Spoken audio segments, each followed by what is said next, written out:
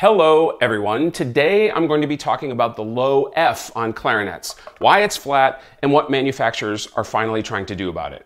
What do I mean by flat here? This is a Buffet R13 and I will play you an F major scale all the way down to low F. Watch the tuner.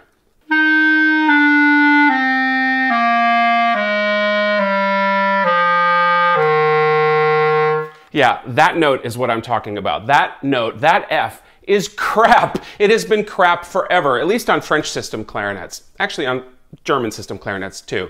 The good news, though, is that manufacturers have been producing clarinets that solve the problem. The bad news, at least to me, is that they're doing it all differently. So today, we will take a look at all of the different systems on the market and the pluses and minuses of each.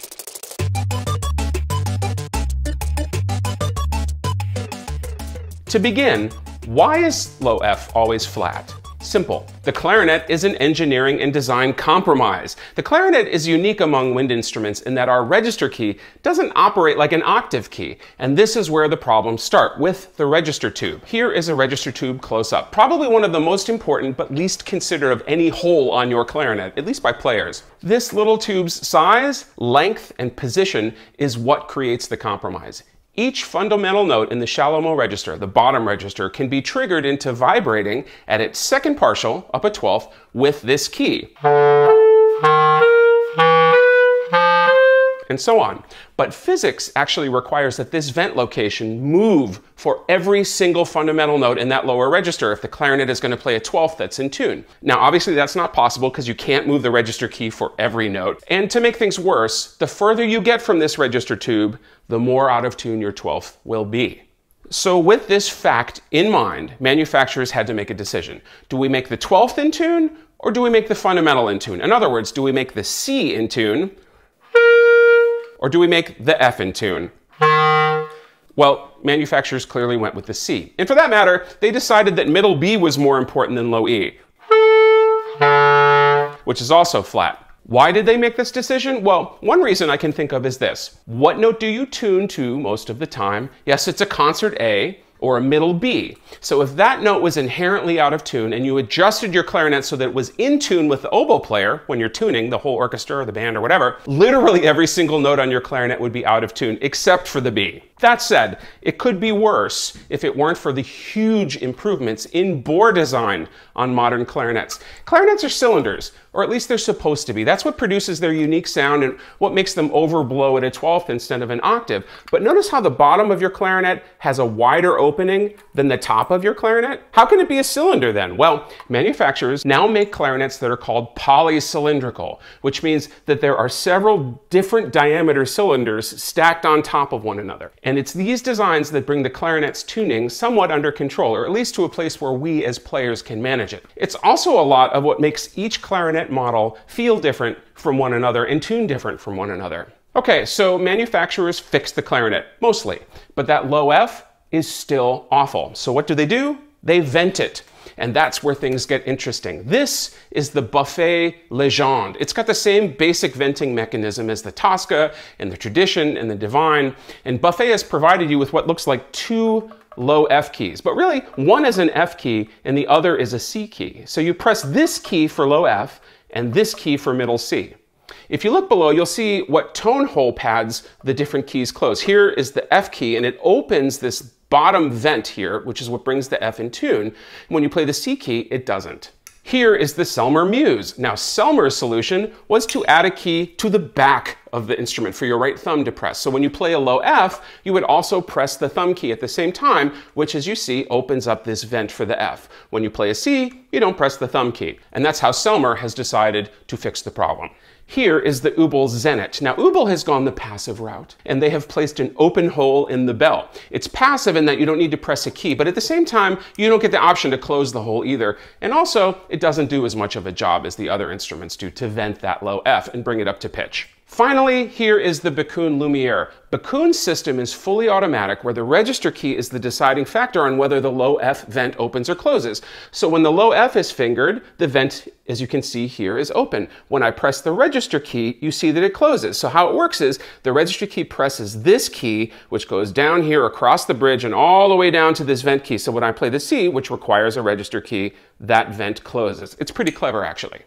Before we get into listening tests, please understand that I'm not judging the clarinets here. I'm just talking about the merits of the low F correction mechanism, the venting system. So keep that in mind because even if the mechanism does a great job, even if I love it, a clarinet is more than just a low F. Am I right? Right. With that, let's hear them all in action, taking a look at the intonation first. Let's hear that Buffet R13 again, just so you can hear what normal sounds like in that F.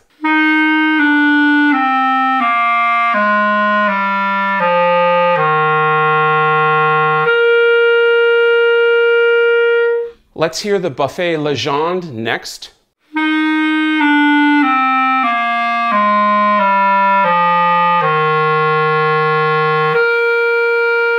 Then we have the Selmer Muse.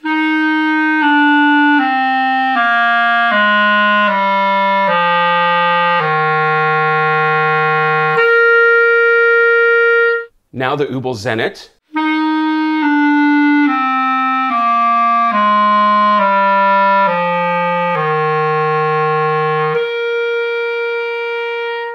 Finally, the Backun Lumiere.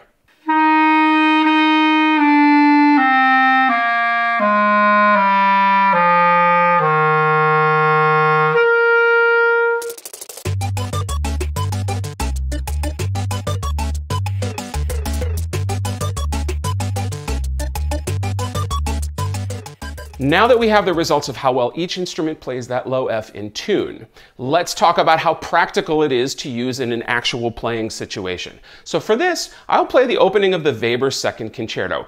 Part of what I'll be considering is how much thought is required to activate this new mechanism for me, and how well the instrument plays in tune, of course.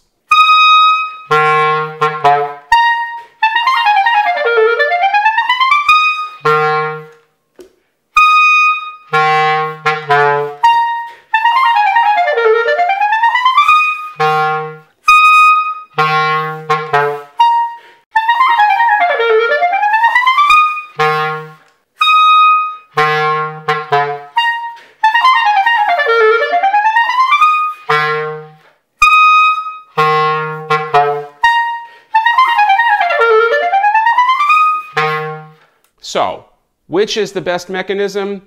Well, for me, hands down, it's the Backun Lumiere. Why? Because it's automatic and I don't have to think about it.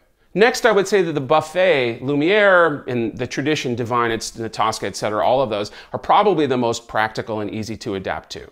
I think the Selmer works fine, but it would be really weird for most clarinetists. Even to me, as a bass clarinetist, where my right thumb gets a workout, you know, because I'm playing low Cs, I feel that the right thumb key is hard to hit reliably. And if you're standing, or you know not holding the clarinet in your knees, which you shouldn't anyway, um, you'll probably want to use a strap in order to feel secure that your clarinet won't fall out of your mouth as you're you know maneuvering for that low uh, F vent key with your thumb.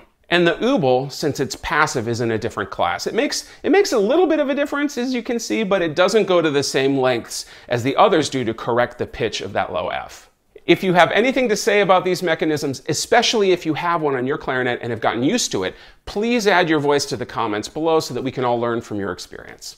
And if you're interested in any of these instruments, you know where you can find them. Thanks for watching, and we will see you next time. Take care.